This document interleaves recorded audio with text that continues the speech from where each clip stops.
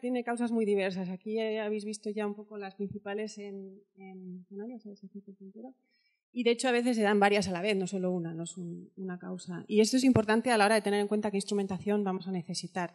¿vale? Ahí tenéis las principales causas que, que puede haber. Y una cosa que tienen en común eh, todas ellas y que es importante tener en cuenta para la instrumentación es que la escala temporal y espacial es pequeña, es rápida. O sea, algunos sistemas pues cambian en el orden de minutos o incluso de segundos, o esas líneas de convergencia se pueden mover a una velocidad en un momento dado rápida. Y eso es muy importante a la hora de tenerlo en la cabeza para, pensar en la, en la, instrumentación. Podemos tener suerte y podemos tener señales que nos indiquen que hay cizalladura. O sea, los pilotos están ya acostumbrados a verla y a estar atentos, como pueden ser esas o muchas de, nubes donde, bueno, pues a, nadie se le ocurre meterse aquí debajo, eh, salvo que sea evidentemente, bueno, salvo que sea, no, a nadie se le ocurre, yo creo, meterse ahí debajo. Entonces, bueno, pues podemos tener esa suerte, podemos tener la suerte de que las mangas, como nos han comentado algún compañero, pues nos indiquen que esa diferencia está justo sobre la pista. Sí, podemos tenerla. Podemos tener la suerte de verlo en una imagen de satélite. Sí, pero lo normal es que no tengamos esa suerte. Lo normal es que eh, no, tengamos una señal clara de dónde está la cizalladura. Y entonces de ahí que necesitemos recurrir a la instrumentación. Entonces, importante, pues necesita una alta resolución espacial y temporal, ¿vale? No podemos estar calculando tener un producto que se actualice cada media hora, no nos va a servir. Tenemos dos tipos de sistemas, los que miden, digamos, in situ, directamente, ¿vale? Podemos hacerlo con instrumentación a bordo de los aviones, Andar, hay una charla luego que nos lo va a contar, o tenemos el sistema in situ, que es el que hay en, Tenerife Sur, que es el LEWAS, con la red de anemómetros. Y luego tenemos otros sistemas que lo que hacen es medir en remoto. ¿Vale? Luego ahora los miremos en, detalle. Entonces, el primero no lo vamos a ver aquí, vamos a ver un poco los otros cuatro, los otros cuatro sistemas. Importante, el instrumento adecuado, y ahora lo veremos por qué, para cada aeropuerto va a depender del tipo de cizalladura que le afecte. ¿vale? No hay un único instrumento que nos valga, un poco ya anticipando la, respuesta haciendo un spoiler, no nos va a valer uno para, todos. Y por eso es tan importante, y no, me canso de decirlo siempre que puedo allá donde voy, la colaboración de torre, de compañías y de pilotos para identificar bien el fenómeno. Si conseguimos identificar bien el fenómeno con campañas de medida, sabremos, podremos elegir mucho mejor el instrumento más adecuado para nuestro aeropuerto. ¿vale? Y eso es muy importante, no solo cuando ya tengamos un instrumento, sino en el previo, a la hora de, decidirlo. Empezamos por el EWAS, no lo voy a contar muy en detalle porque luego eh, eh, nuestro compañero Andrés Molina, que viene detrás, eh, creo que viene justo ahora, nos, lo contará. Pero bueno, una red de sensores que está alrededor de la pista y que lo que mide son convergencias y divergencias del viento, ¿vale? Y están en superficie y lo traduce en alarmas de ganancia o pérdida de velocidad, que es la información que ve Torre y que transmite a los pilotos. Una cosa muy importante del EWAS, bueno, pues que tiene unos criterios para su instalación muy estrictos. ¿vale? El documento de la, de la FAA, que es la Federación de Aviación Americana, que es quien eh, digamos, diseñó y impulsó el, sistema, bueno, pues son 64 páginas. 64 páginas donde se determinan las distancias mínimas y máximas que deben de cumplir los sensores, los ángulos que deben tener, cómo de alta tiene que ser la torre para salvar los obstáculos. Bueno, pues es un documento extenso y que a la hora de decidir instalar un LLWAS, pues hay que tener muy presente, implica mucho trabajo. Y pues dice el obvio, una colocación adecuada es esencial para que sea efectivo. Ellos mismos reconocen que a menudo es difícil de implementar. En Tenerife Sur habéis tenido suerte de que se han podido instalar más o menos de una forma de lo que se considera adecuado, formando un rectángulo alrededor de la pista. Pero aquí os enseño, por ejemplo, lo que no queda más remedio que hacer en Bilbao. ¿Por qué? Porque no nos han autorizado a poner las torres donde sería bueno desde el punto de vista metodológico. No nos han dado permisos, aunque no os lo creáis, porque parece a veces que estás pidiendo para poner un, parque de atracciones o algo así. No hemos tenido permiso para poner las torres donde sería eh, lo razonable. Y entonces al final pues acabamos con, una cobertura que no es la ideal y, bueno, pues de eso se resiente. Ventajas, la alta resolución temporal que tiene el sistema que mide de forma directa y que mide en todas las condiciones, tanto si hay lluvia como si no. Eso es importante a la hora del fenómeno que, tengamos en cuenta. Inconvenientes que al estar en superficie solo nos va a medir la cizalladura horizontal. Es el, alcance, el que tiene el alcance menor de todos los sistemas Teóricos son tres millas, pero efectivos, al, menos los sistemas que tenemos en Tenerife y Bilbao, que son los dos LOAS que hay en España, eh, como máximo llega a una milla. Y la menor resolución espacial es una milla, que puede que nos baste, depende un poco del fenómeno que ocurra en cada sitio. Es ver qué necesidades tenemos y ver si el instrumento se acoge o no, cumple esas necesidades que tenemos. Y la importante requiere de 6 a 10 sensores si solo tenemos una pista. Si tenemos más pistas vamos a necesitar más sensores. Es un consumo muy grande de territorio y es una instalación muy costosa y un mantenimiento muy costoso. Los sensores tienen que estar limpios continuamente para ofrecer medidas buenas. Y esta es importante, el terreno debe ser regular. Alrededor de la pista no debe de haber grandes... Mm, eh, no debe ser una zona de orografía compleja para que funcione bien. Y puede haber, pues eso, falsas armas, especialmente si hay un flujo racheado o turbulento. Segundo sistema, este ya es detección remota, un perfilador vertical. Hemos dicho que el LWAS solo es en horizontal, bueno, pues vamos a ver un sistema que nos mide en vertical y mide, eh, devuelve, digamos, mide diferencias en el índice de refracción del aire. No, no, voy a ir un poco, no voy a ir en detalle. Hay diferentes tipos de perfiladores. El que interesa en aeronáutica es solo el que llega, digamos, hasta la capa límite. Y ahí hay unos valores orientativos un poco del alcance o la resolución espacial que tienen. Luego los veremos más en detalle en un cuadro, en un cuadro resumen. Este es una foto del perfilador que había en, barajas y bueno, esto es el viento en la vertical, en la horizontal lo que tenemos es lo de sucesivas horas, digamos, y se ve como, pues a medida que va avanzando el tiempo, se ve claramente en este caso la entrada de, la cizalladura. Ventaja, es un sistema muy robusto que no requiere mucho mantenimiento, el coste es mucho menor y también pues, puede detectar la turbulencia. ¿Qué pasa? Que en este caso solo tenemos la cizalladura en el punto justo sobre el perfilador. Si, la cizalladura que afecta a nuestro... Em, si, es muy homogénea en todo el aeropuerto, nos bastará con una. Si es muy diferente, vamos a necesitar varios perfiladores para cubrir todas las zonas de aproximación. Precaución con interferencias en otros sistemas. Bueno, al ser un pulso electromagnético hay que andarse con cuidado y tener en cuenta dónde estamos. Y, cuando hay precipitación hay una atenuación. De hecho, si la precipitación es intensa, se queda prácticamente eh, ciego. Puede haber problemas también con ecos de tierra. Siguiente sistema de los que son detección remota, el radar Doppler. Aquí lo que hacemos es seguir el movimiento de las partículas de precipitación. Es como el radar un poco que nos pone, el radar de la Guardia Civil, que nos pone la multa y sigue la velocidad de nuestros coches. A nosotros no nos interesan los coches, nos interesa la velocidad a la que se mueve la lluvia. Y con eso nos hacemos una idea de la velocidad del viento. Pero es detección remota. Estamos mandando una señal que nos llega de vuelta, con un cambio de frecuencia por el efecto Doppler.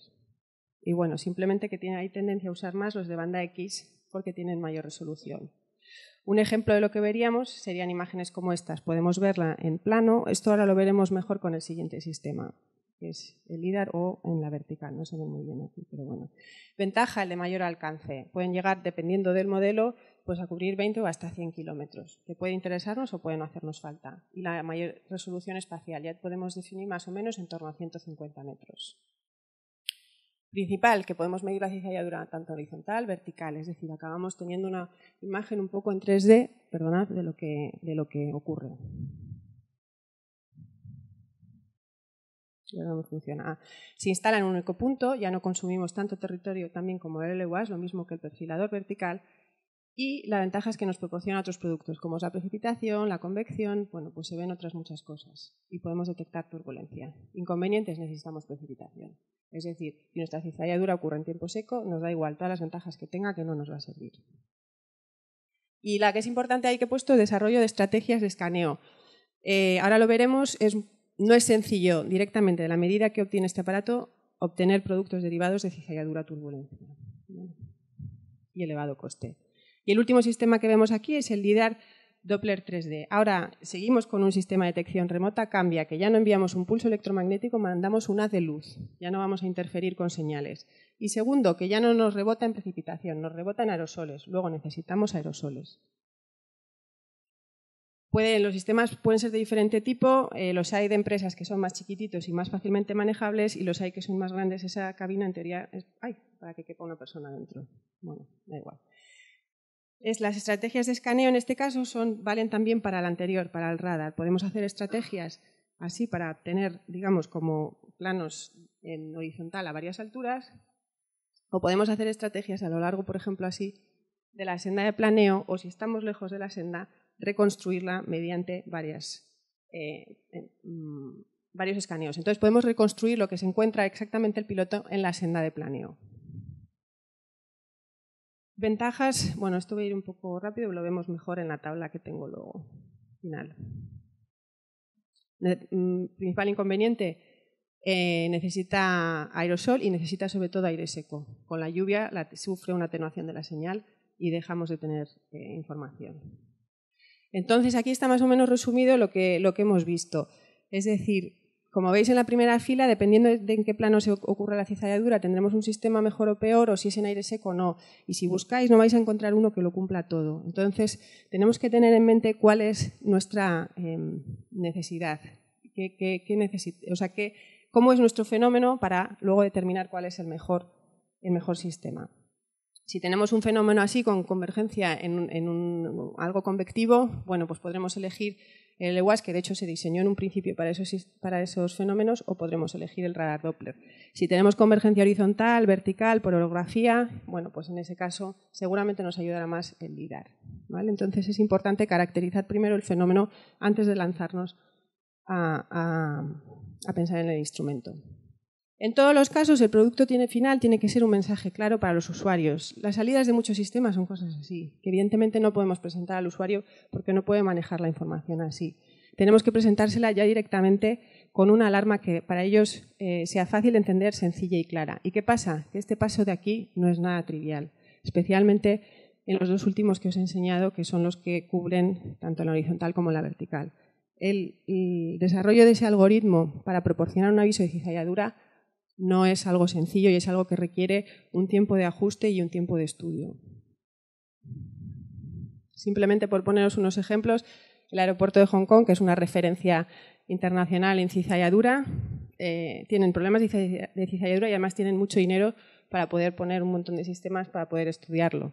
Y entonces, bueno, pues tienen, ellos tienen de todo. Tienen un, un, un, TDWR, que es el radar Doppler, tienen perfiladores de viento, tienen LIDAR y tienen una red de anemómetros incluso en las cumbres, no solo un LLWAS alrededor del aeropuerto, sino en cumbres. Tienen varios tipos de cizalladura también que, les afectan. En Estados Unidos han optado, aunque ponga 2007, está, la, red sigue siendo la misma, han optado por, sistemas de, baja, de LLWAS también, que son en verde, por Doppler radar y luego en algunos aeropuertos, los más importantes, en nueve de ellos han combinado ambos para tener más información. Luego los americanos han sabido utilizar, aprovechar, en rojo son los radares que se utilizan para la aproximación, han sabido acoplarles un módulo y un postproceso para utilizarlos también para meteorología. Y bueno, aquí simplemente otro aeropuerto que, es, eh, es, referencia para los estudios que hicieron de turbulencia, el de Alaska. Fijaros además el canal que tiene, os podéis imaginar aquí, pues vamos, todo lo, que puede haber de vientos, de, encañonamiento, etcétera. Y hicieron, han hecho varias campañas de medida muy importantes con colaboraciones de pilotos para determinar cuál es el mejor punto para tener luego sus, poner sus instrumentos, sus perfiladores y cuáles funcionan y cuáles no. Y bueno, si, hay dinero y necesitas poner varios, tienes el problema de que combinar la información de los distintos sistemas no es nada sencillo. Podemos hacerlo de varias formas combinar a, nivel de producto lo que nos proporcionan los distintos sistemas y generar una única alarma o podemos coger la alarma que nos genera cada producto, combinarlas y entonces generar una alarma final. Eh, los estudios han dicho que funciona mejor el, segundo, combinar a, nivel de alarmas, pero en cualquier caso es una cosa complicada. ¿Qué alarma le damos al piloto? ¿El peor? ¿Cuál le damos? Hacemos un, bueno, pues no, no, es, no es trivial. ¿no? Y bueno, simplemente ya por acabar, la información de, de y de turbulencia que puedan proporcionar pues tanto pilotos a través de torre como incluso las propias medidas de los aviones es muy importante para identificar el fenómeno y decidir el sistema y luego para una vez instalado calibrarlo y validarlo. Y siempre para complementarlo. Los sistemas, ninguno de ellos es infalible ni es perfecto, siempre va a hacer falta que haya los reportes de, pilotos. Y bueno, un poco ya la, la transparencia de resumen la necesidad de instrumentación con alta resolución espacial, los principales sistemas y, bueno, lo más importante es que no hay un único instrumento válido para todas las situaciones. Que el producto final hay que trabajar para que sea sencillo y claro para los usuarios y eso no es un trabajo sencillo y que es muy importante la colaboración de todos para varias fases. Una, para identificar el tipo de cizalladura y elegir el instrumento. Ahí hay una serie de preguntas que tenemos que contestar antes de, de elegirlo Y dos, para una vez instalado, seguir calibrando, validando y complementándolo. Y bueno, pues nada más, lo importante, o sea, recalcar realmente lo importante que es la colaboración en todas, en todas las fases y que nuestro objetivo, pues al final y al, al fin y al cabo es común. Vale, gracias.